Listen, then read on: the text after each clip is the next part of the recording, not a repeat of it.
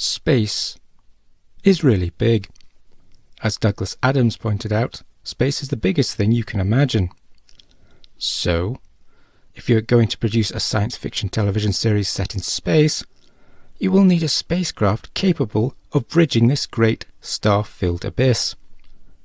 And in the mid 1960s, the Desilu Studios series Star Trek did just that. The answer to the interstellar challenge was the Enterprise, and in this video we will take a closer look at it.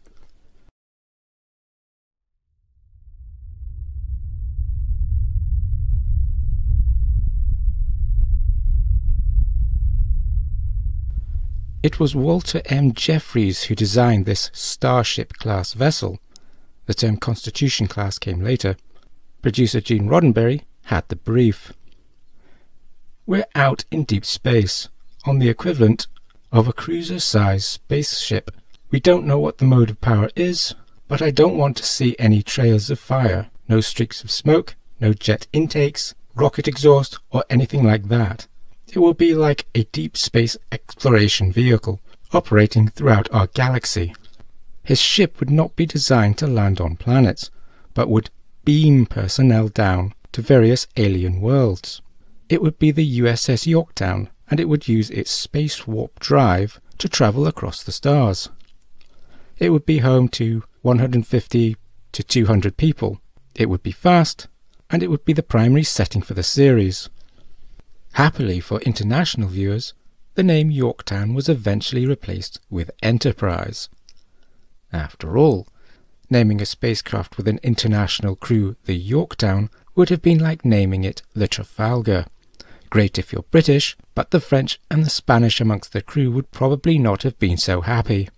The 1781 battle fought at Yorktown saw the defeat of the British under Cornwallis by a Franco-American force under Washington and Lafayette and was a pivotal moment during the American War of Independence. Commemorating a battle fought between nations that, by the 23rd century, are meant to be friends would have somewhat undermined the message. And that would have been true even if it was named after a real ship called the USS Yorktown, as the ship itself would have been named for the battle. Perhaps the producers realized this or perhaps not.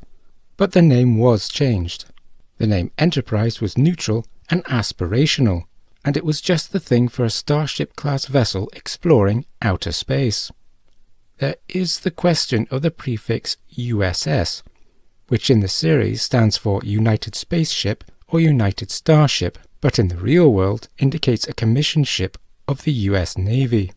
As Star Trek was made for an American audience, this would not have struck its producers as strange. Most international viewers let it slide. Jefferies, who was known by his middle name Matt, took a practical view of what his spaceship would look like. Its hull would be smooth, as everything would be inside and therefore easily accessible to the ship's crew. He also thought that if the Enterprise was to be fast and powerful, it would have powerful engines, and powerful engines would have to be kept apart from the main hull of the ship. The concept of the flying saucer was well established by the mid-1960s, and it had appeared in the classic film Forbidden Planet and on television in the guise of the Jupiter 2 in Lost in Space. Jefferies was initially resistant to the saucer, for the hull, I didn't really want a saucer because of the term flying saucer, and the best pressure vessel, of course, is a ball. So I started playing with that. But the bulk got in the way and the ball just didn't work. I flattened it out, and I guess we wound up with a saucer.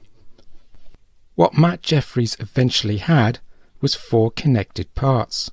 A saucer attached to a cylinder by way of a slanting dorsal support or neck, and from the cylinder long pylons running up to a pair of engines shaped like long cigars.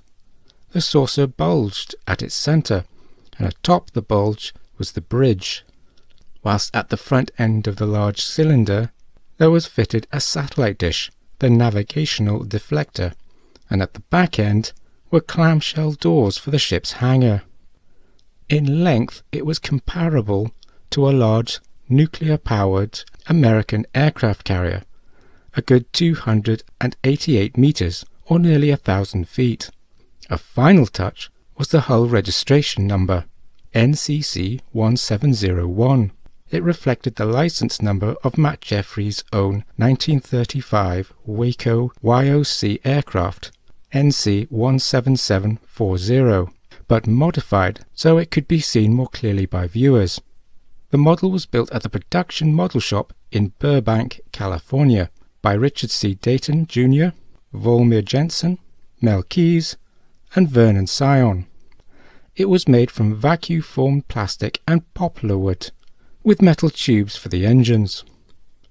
It was 3.3 meters, or 11 feet, in length, 18 centimeters, or 32 inches in height, and the saucer had a diameter of 152 centimeters, or 60 inches. Incidentally, although not immediately apparent, the initial Enterprise design seen in the first pilot episode, The Cage, was subtly different to that of the regular television series. Its bridge module was taller. There were spikes attached to the nacelles and the trailing ends of those nacelles lacked the silver balls seen on the regular series Enterprise. The Enterprise developed into a starship with 11 decks and a crew of 400.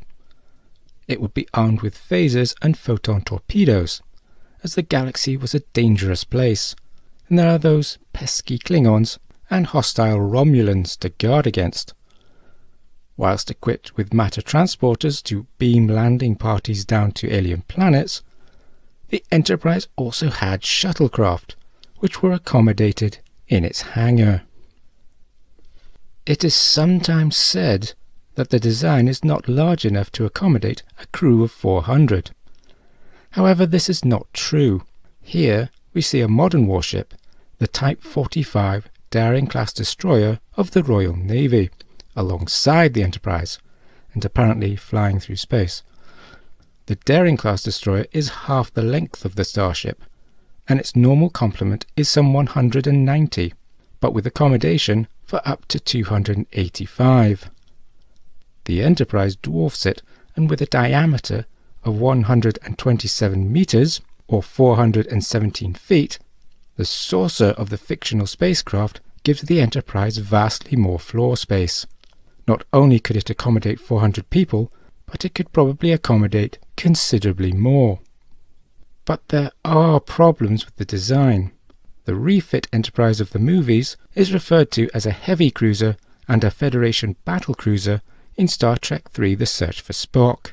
But its bridge is very exposed for a warship, and its neck and engine pylons are structural weak points. Although the Enterprise is meant to be a ship of exploration rather than of frontline battle. They weren't expecting to take her into combat, you know. Yet those structural weak points remain, and we can imagine too much warp speed would eventually lead to structural failure. Which brings us to another problem. The engines are too high. They are too far above the ship's center of gravity to be effective as a means of propulsion. Nonetheless, the original Enterprise is an elegant design and recognizable even by those who have never watched Star Trek. Matt Jefferies' design has become iconic, and its echo has survived 60 years of science fiction, six original series films, a spin off series, four Next Generation films, and three alternative Star Trek films and their spin offs. An American space shuttle was named after the Enterprise, and so deep is the association of that particular name with space travel that two British survey ships, one the 120 ton inshore vessel Enterprise of 1959, and the other the current 3,700 ton Echo class Enterprise of 2002, share a familiar nickname the Starship.